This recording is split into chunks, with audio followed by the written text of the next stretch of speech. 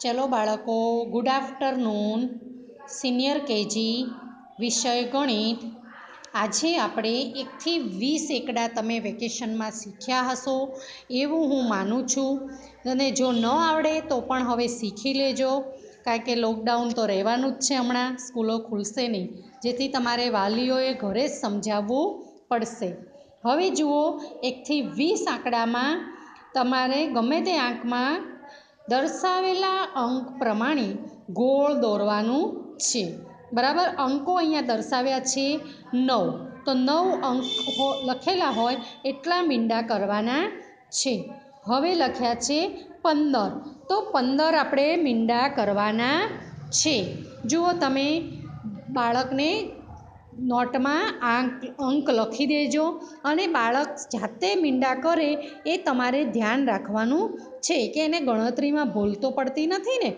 એવી રીતે એક સળંગે પંદર બોલશે. એક, બે, ત્રણ, ચાર, પાંચ, છ, સાત, આઠ, નવ, દસ, અગિયાર, બાર, તેર, ચૌદ પંદર.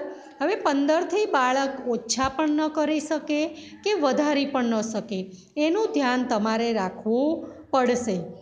જો સ્કૂલ ચાલુ હોય તો બાળકો સ્કૂલમાં ઘણો બધો પ્રયત્ન કરે, જેથી ભૂલો ઓછી પડે. પણ આ અત્યારે તમારે વાલીઓએ જરા ધ્યાન રાખવું પડશે આ વર્ષ દરમિયાન.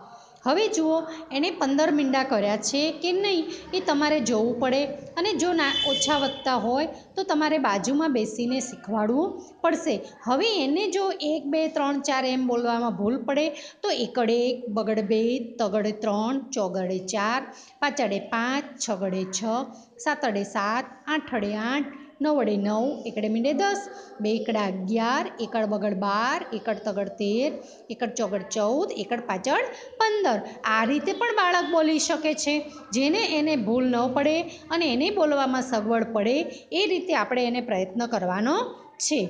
હવે એકડ બગડ બાર લખેલા છે, તો આપણે એને બાર મીંડા કરવા પડશે ગોળ.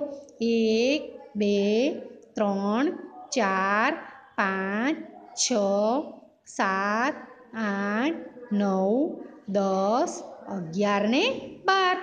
હવે આઠડે આઠ લખેલા છે. તો એક, બે, ત્રણ, ચાર, પાંચ, છ, સાત ને આઠ. હવે એકડ આઠડ અઢાર કરવાના છે મીંડા. એક, બે, ત્રણ, ચાર, પાંચ, છ, સાત, આઠ નવ, દસ, અગિયાર, બાર, તેર, ચૌદ, પંદર, સોળ, સત્તર ને અઢાર. આટલા મોટ, વધારે મીંડા ગણવાના હોય ત્યારે આપણે ફરી ગણી લેવા જરૂરી છે. એક, બે, ત્રણ, ચાર, પાંચ, છ, સાત, આઠ, નવ, દસ, અગિયાર, બાર, તેર ચૌદ, પંદર, સોળ, સત્તર ને અઢાર. બરાબર? હવે તમે બે વાર ગણી જુઓ અને વાલીઓએ પણ જોડે બેસીને બાળક પાસે ગણાવવાના જેથી કરીને ભૂલ પડે નહીં. હવે દર્શાવેલ અંક પ્રમાણે ત્રિકોણ કરવાના છે. જુઓ, હવે ત્રિકોણ કરતાં બાળકને ઓછા ફાવશે એ જેવા કરે એવા પણ આપણે એને જાતે કરવા દેવાના. હવે એકડ છગડ સોળ કરવાના છે. જુઓ, એક, બે ત્રણ, ચાર, પાંચ, છ, સાત, આઠ, નવ, દસ, અગિયાર, બાર, તેર, ચૌદ, પંદર, સોળ. બરાબર? ગણીને ફરી ચેક કરી લેવાનું. ભૂલ હોય તો સુધારી લેવાની. સોળ. હવે દસ છે, જુઓ.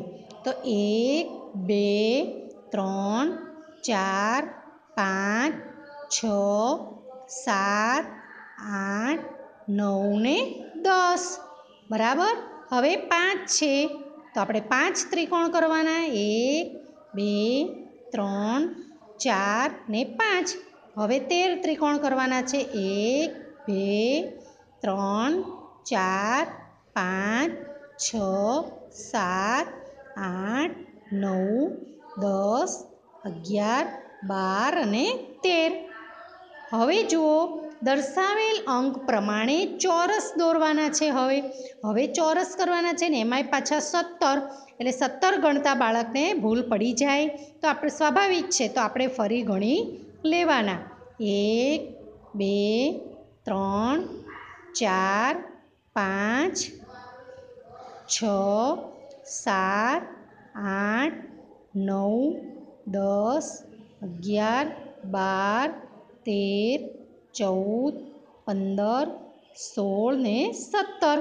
ફરી ગણી લઈએ આપણે.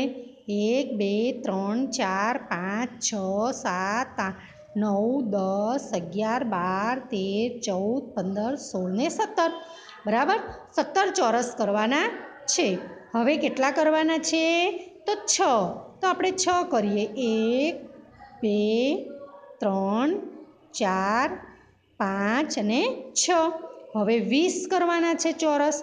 તો એક, બે, ત્રણ, ચાર, પાંચ, છ, સાત, આઠ, નવ ને દસ. બીજા દસ કરી દઈએ એટલે ભૂલ પડે નહીં. એક, બે, ત્રણ, ચાર, પાંચ, છ, સાત, આઠ નવ ને દસ, બરાબર? એટલે બે વાર દસ દસ ગણીશું, તો આપણા ચોરસ વીસ થઈ જશે અને ગણતરીમાં ભૂલ પણ પડે નહીં. હવે ચૌદ ચોરસ કરવાના છે. એક, બે, ત્રણ, ચાર, પાંચ, છ, સાત, આઠ, નવ, દસ, અગિયાર, બાર, તેર અને ચૌદ. હવે જુઓ ચૌદ ચોરસ થઈ ગયા. એક, બે, ત્રણ, ચાર, પાંચ, છ, સાત, આઠ, નવ, દસ, અગિયાર, બાર, તેર ને ચૌદ. આ રીતે તમારે ચોરસ કરવાના છે. હવે જુઓ તમારે બાળકો પાસે ગોળ, ચોરસ, ત્રિકોણ આવું તમારે દોરતા પણ શીખવાડવું પડશે. જેથી કરીને આવા અંક પ્રમાણે ત્રિકોણ દોરતા પણ આવડી જાય, ચોરસ દોરતા પણ આવડી જાય. Okay bye